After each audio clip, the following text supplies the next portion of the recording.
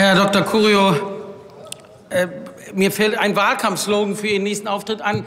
Schlimmer geht immer und Sie bestätigen das jedes Mal aufs Neue. Und, und, und Sie haben gerade ein, ein Meisterstück in Dialektik vollbracht. Wir erinnerten ja vor gut einer Stunde an 70 Jahre Grundgesetz.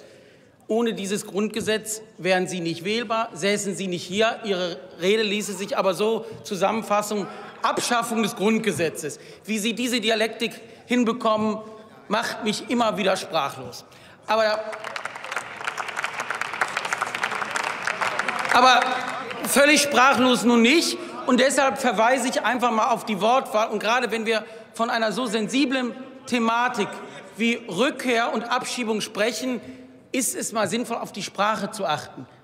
Denn die Menschenwürdegarantie des Grundgesetzes geht ja davon aus, dass Menschen als Dasein um ihrer Selbstwillen geachtet werden und gerade nicht Dinge sind. Ich meine mich aber zu erinnern, und das Protokoll wird es verweisen, dass Sie vorhin von zwischenverwahrt gesprochen haben. Menschen werden nicht zwischenverwahrt. Sie werden vielleicht in Gewahrsam genommen, inhaftiert, aber nicht zwischenverwahrt. Und, und in Ihren Metaphern mit Black zieht sich dasselbe durch. Menschen sind nicht irgendwie Wasserfluten, die dieses Land überfallen, sondern es sind immer noch Menschen, egal aus welchem Grund, ob legal oder illegal legitim oder illegitim sie, sie hier sind. Diese Grenze gibt uns das Grundgesetz und wenn Sie sich nicht auf dem Boden des Grundgesetzes bewegen, sollten Sie sich ernsthaft überlegen, ob Sie noch einen Tag weiter hier in diesem Parlament sitzen wollen. Sie haben aber dankenswerterweise auch darauf hingewiesen, dass wir anscheinend in dem Gesamtmigrationspaket etwas richtig gemacht haben müssen, denn Ihr vehementer Widerstand ist Ausdruck für eine gewisse Qualität der entsprechenden Gesetzgebung.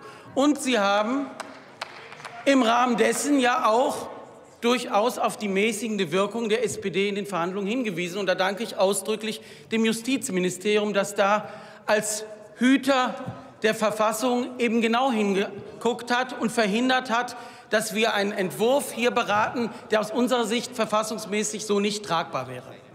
Zum Zweiten haben Sie darauf hingewiesen, dass die Justizminister irgendwie in Form einer geheimnisvollen Verschwörung hier grenzenlose Migration ermöglichen wollten. Und da habe ich mich wirklich gefragt, in welchem Kontinent Sie sich bewegen.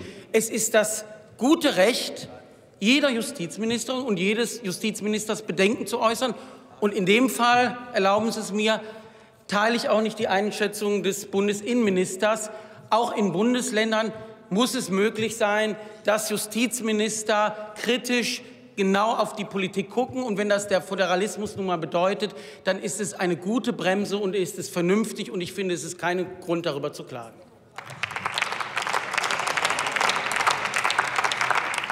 Ich will hier ganz bewusst nicht irgendwie hurra patriotisch und jubeln sprechen. Das ist nicht geboten bei der Frage von Rückkehr und Abschiebung. Das ist in beiden Fällen eine dramatische Situation, sowohl für die Betroffenen, für diejenigen, die es mitbekommen, an Flughäfen und anderen Institutionen und auch für Polizeibeamtinnen und Polizeibeamte. Deshalb glaube ich auch nicht, was manche vielleicht denken, dass wir unbegrenzt die Zahl der Abschiebungen erhöhen können. Das wird keine Möglichkeit sein. Ebenso aber ist es auch nicht richtig, dass es keine Möglichkeit gibt, die Zahl derer, die zurückgeführt werden, zu erhöhen. Auch das ist nicht wahr. Wir müssen uns lösen von diesen groben Vereinfachungen. Was ist die Grundidee dieser Gesetzgebung, die für uns auch als Sozialdemokraten keine einfache ist?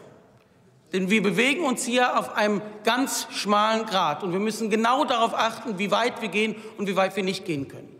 Wir haben uns selber versprochen im Koalitionsvertrag, dass wir unterscheiden zwischen denen, die schutzbedürftig sind und Anspruch haben auf Schutz und solchen, die ihn nicht haben.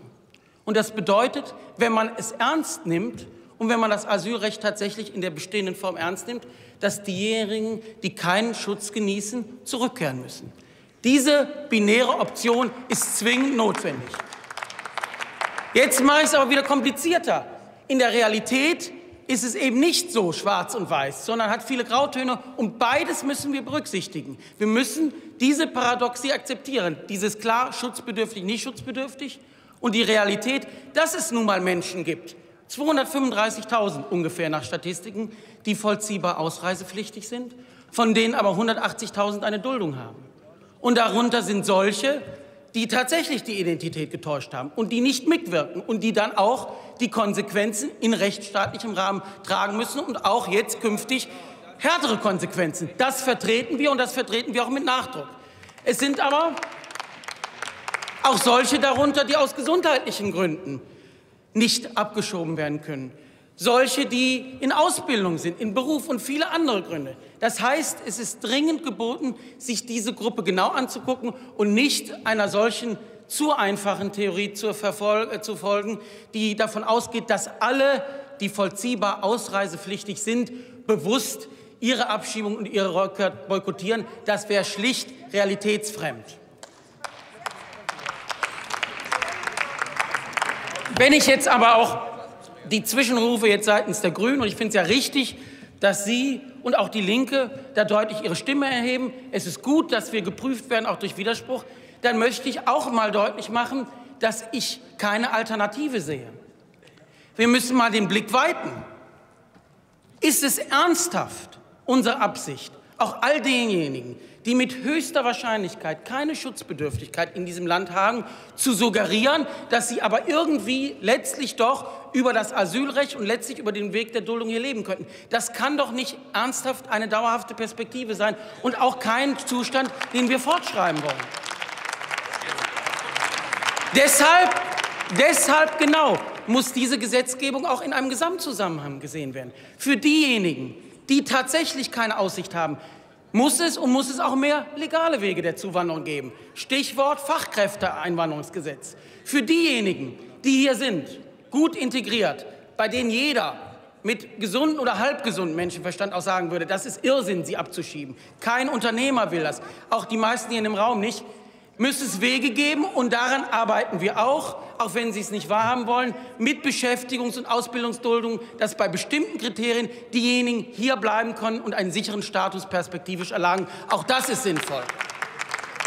Und es ist sinnvoll zu gucken, wie wir auch stärker als bisher Instrumente des Resettlements und der Relocation verwenden.